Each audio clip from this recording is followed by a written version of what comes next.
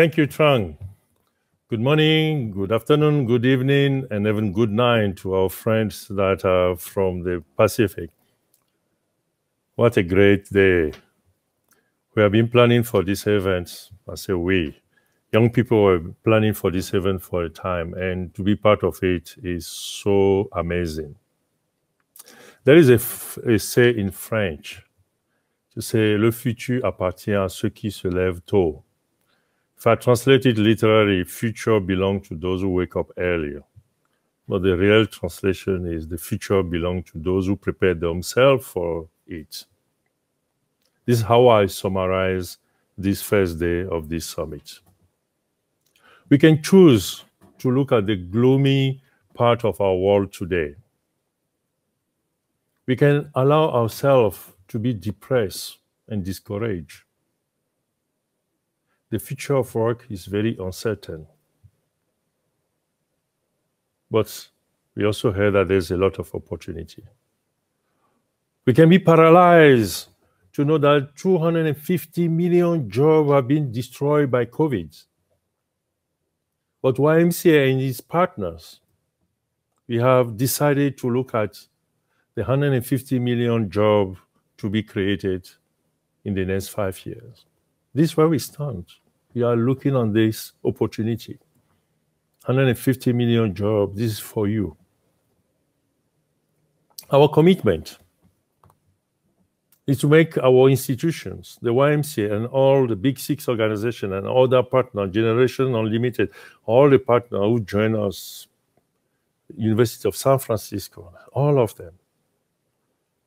We want to be a place you call home where you can find inspiration and the motivation and also the resources to positively influence the path to the decent and sustainable job.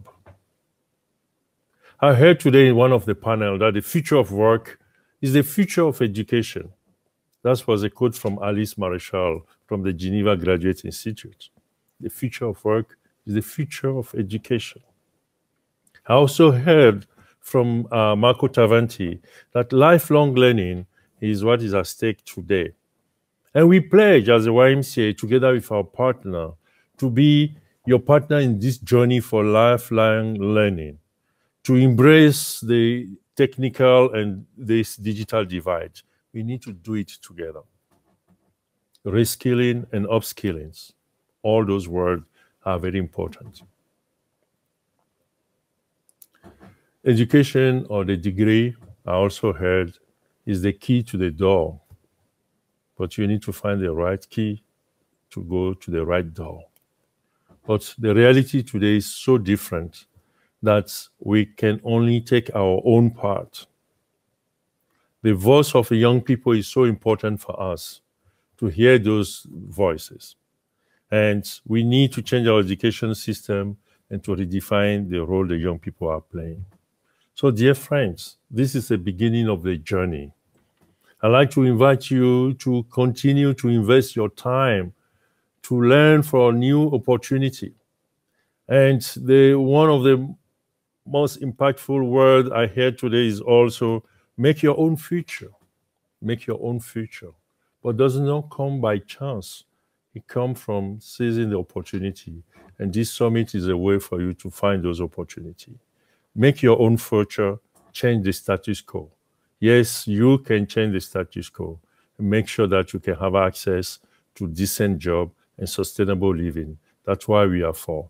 And thank you very much. Thank to all those who planned for this. And it's just the day one.